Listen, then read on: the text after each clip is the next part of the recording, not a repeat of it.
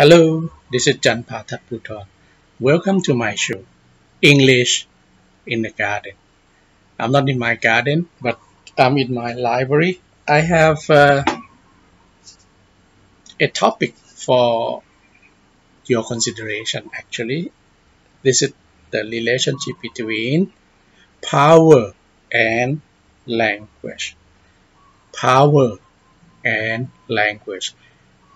There's a relationship between power and language. I will discuss this in two dimensions. Two dimensions. First is the dimension of communication, uh, you know, personal communication.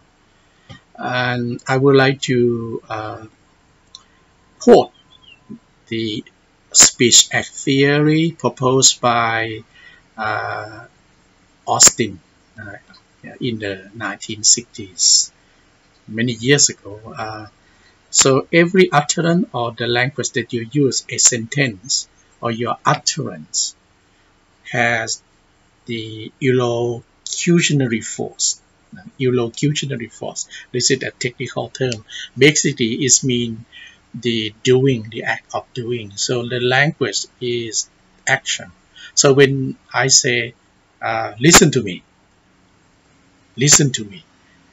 Now, the language that you hear is the locution. Okay, the illocutionary force of listen to me is uh, is a command. I am giving you an order. Is ordering. Is giving a command. So this is what you mean by the power. It has the uh, what we call the doing power. And so the language that you use has outer, I mean, has the power to establish um, relationships between people, between you and your audience and other people. Um, this is uh, also important. So the language that you use tells people about your uh, your upbringing, your intention, uh, your temperament, and everything about you. So that's why uh, the elder, I mean the elderly people, or teachers, or the sage, or the scholars, um, have warned us to be the master of your own words of the language because uh, the language that you use uh, determines your future, your life. And this is the first dimension, I would say. The second dimension is, uh, by the way, I'm talking about uh, the power and the language. The, the second dimension is a, bit, a little bit uh, political, and the language that you you are given or you are allowed to use to speak um, uh, what we call uh, determines the power that you have the freedom that you have you know the um, if say for example uh, the power that be or the laws uh, prohibit you from using certain phrases uh, or expressing yourselves in certain manners or ways uh, you are losing your power to someone else to the situation they are actually uh, what we call framing your thought your way of seeing the world.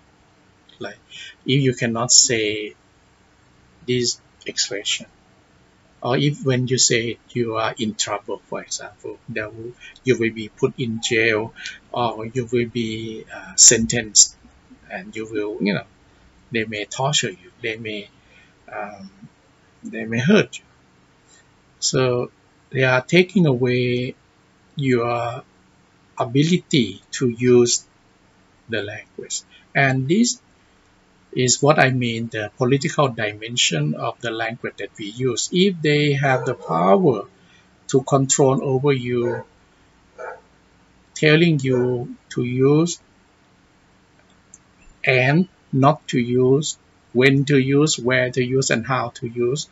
They are actually dictating you through language.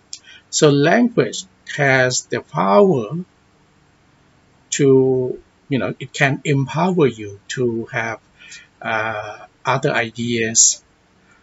The, the, the sad thing about um, the whole uh, political issue of power and language is that in many cases, in many cases, in many places, many situations, uh, some people they they don't know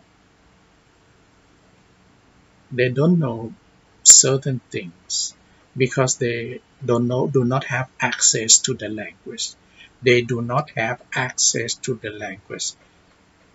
They have been uh, constrained to use to see the world uh, in such way and way. That's why there is a hypothesis called the Sapir-Whorfian hypothesis uh, saying that the language that you use reflects your uh, perspective of the world. So if you cannot use certain vocabulary items, certain words, you are actually seeing the world only that picture. You cannot expand your possibility or your perspectives. And this is hurting because the whole purpose of learning a foreign language, one of the main purposes, is to expand your uh, perspective so that you can understand the world, the society, the universe.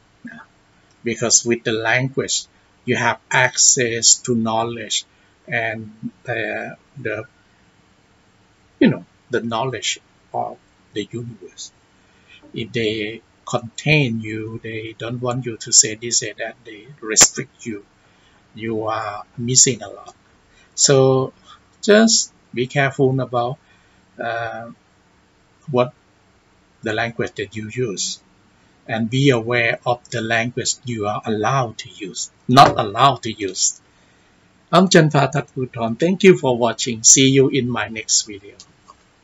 Language and Power. Thank you for watching.